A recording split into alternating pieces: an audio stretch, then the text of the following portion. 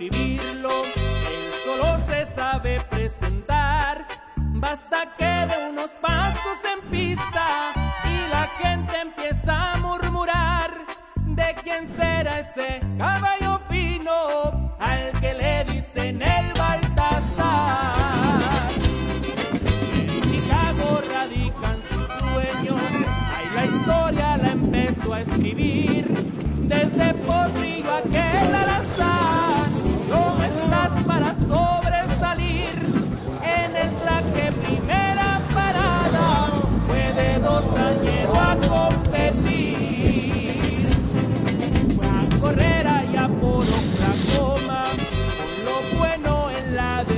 muy seguro y muy recio en la pista, el tercer mejor tiempo metió para la final complicaciones, el caballo ya no la corrió.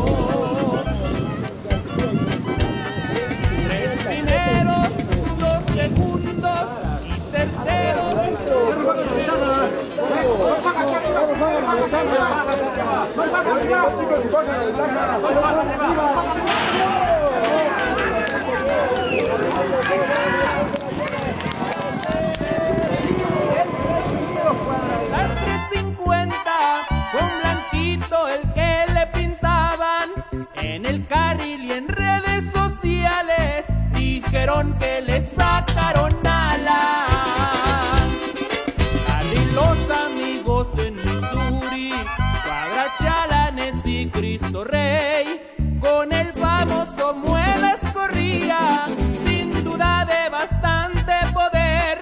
Alex Carrillo en el Baltasar, 300 yardas por correr. Contundentemente le ganaba y la clase salió a casi eso no se ve coincidir. Y sus dueños están orgullosos y esperando un sayo.